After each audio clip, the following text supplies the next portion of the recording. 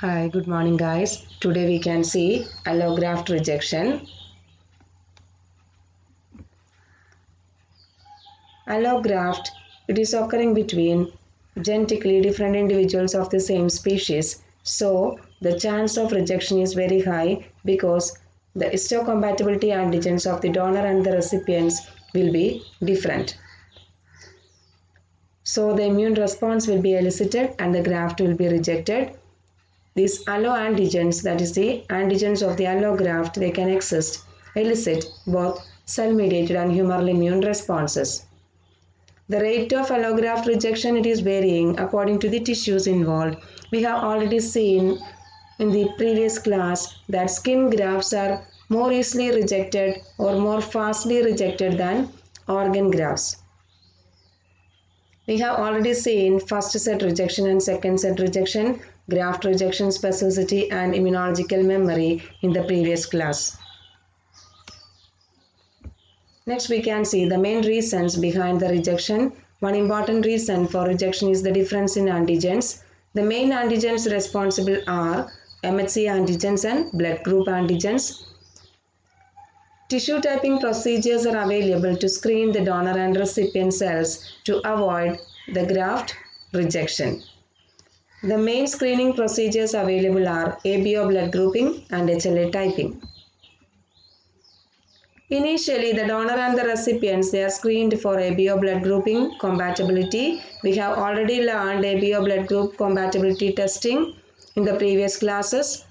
If the blood groups are compatible, next we have to go for an HLA typing and this HLA typing it is done for the potential donors and the recipients with the help of a test called microcytotoxicity test. The main test involved in HLA typing is microcytotoxicity test. The main steps involved are WBC of the donors and the recipients they are added into separate wells of microtiter plate.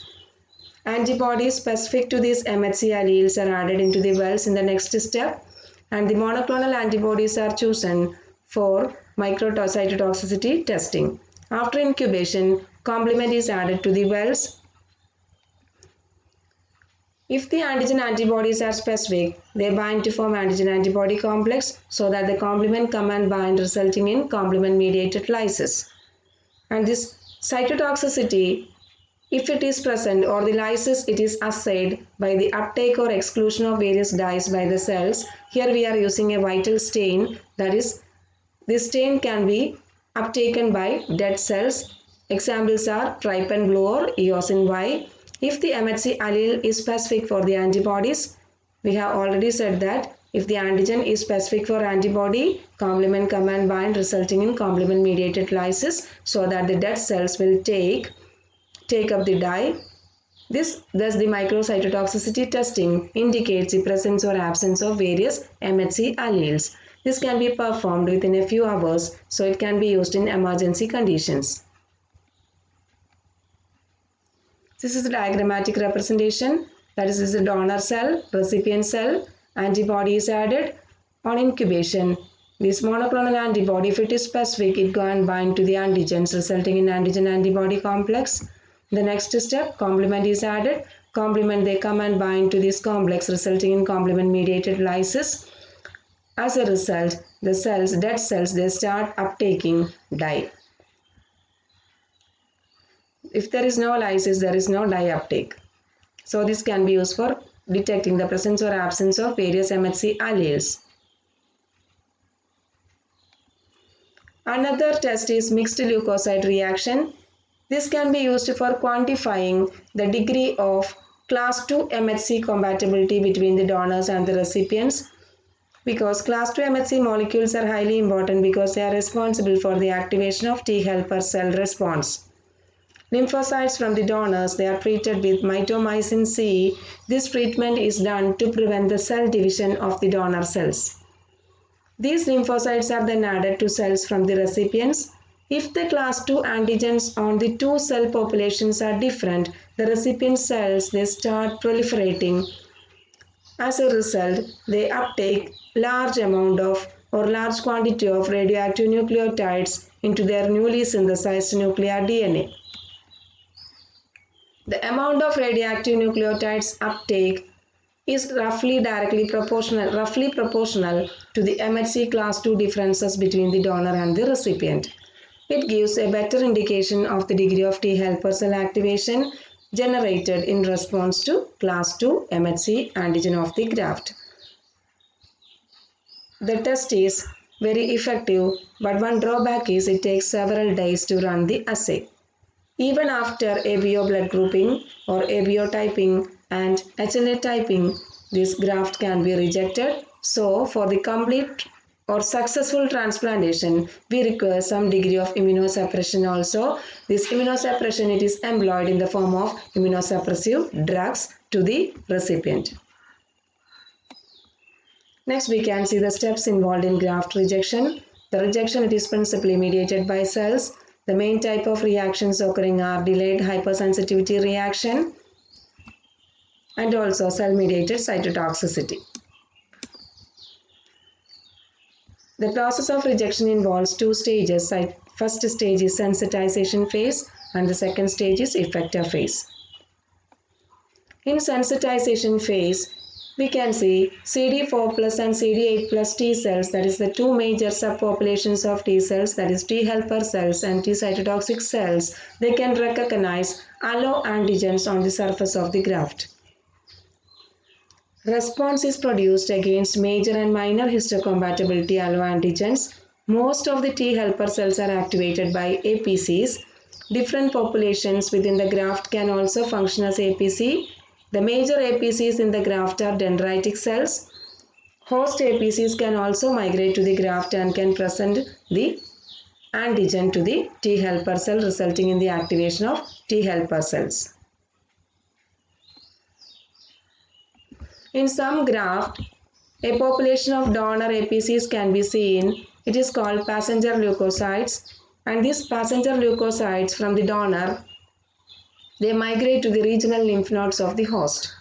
That is, in some graft, we can see a special population of donor APCs. That is, the, it's a donor APC and it is called passenger leukocyte. It migrates from the donor or from the graft to the regional lymph node of the host. Passenger leukocytes are dendritic cells and can express high levels of class 2 MHC molecules so that these passenger leukocytes are also recognized as foreign molecules and again activation of T cells occurs. Other APCs involved are Langerhans cells and endothelial cells lining the blood vessels. Next we can see the effector stage.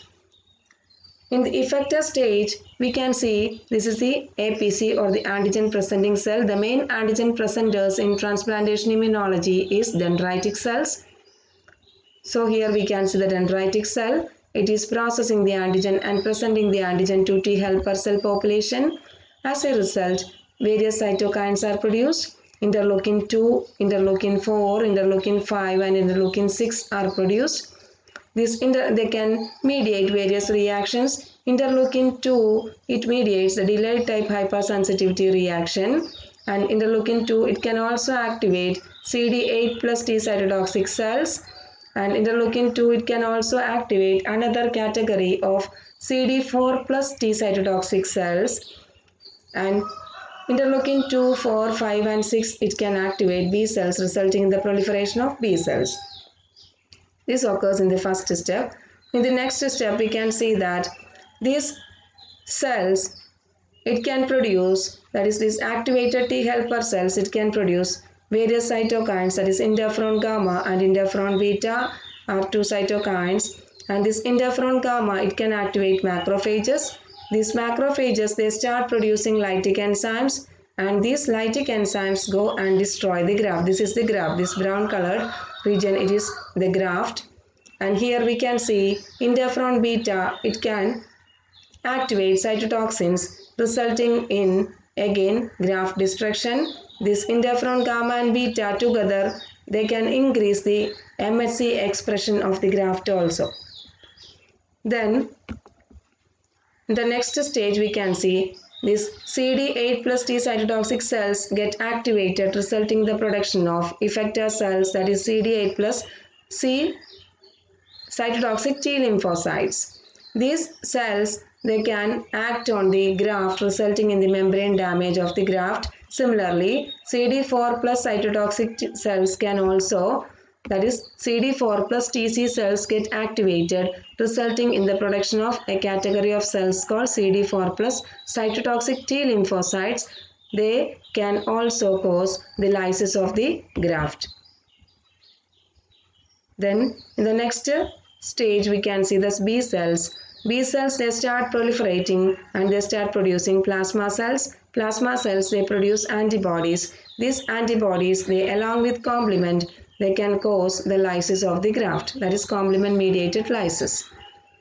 We can also see ADCC mediated by natural killer cells and macrophages and the result it will be the complete destruction of the graft so that we can see the main cells involved are antigen presenting cells mainly dendritic cells then T helper cells then cytotoxic T lymphocytes mainly CD4 plus and CD8 plus category and also B cells these B cells, they produce antibodies resulting in antibody mediated lysis and also ADCC. Therefore, the main reactions are delayed type hypersensitivity reaction and also cytotoxicity reactions. Then antibody mediated lysis that is ADCC and also antibody plus complement mediated lysis. And the final result is the complete destruction of the graft and graft rejection. These are the various steps. Hope you all understand this session. We can see the various clinical manifestations and different types of clinical transplantations and various immunosuppressive therapies which are used in transplantation immunology in the next class. Hope you all understand this session. Thank you. Have a nice day.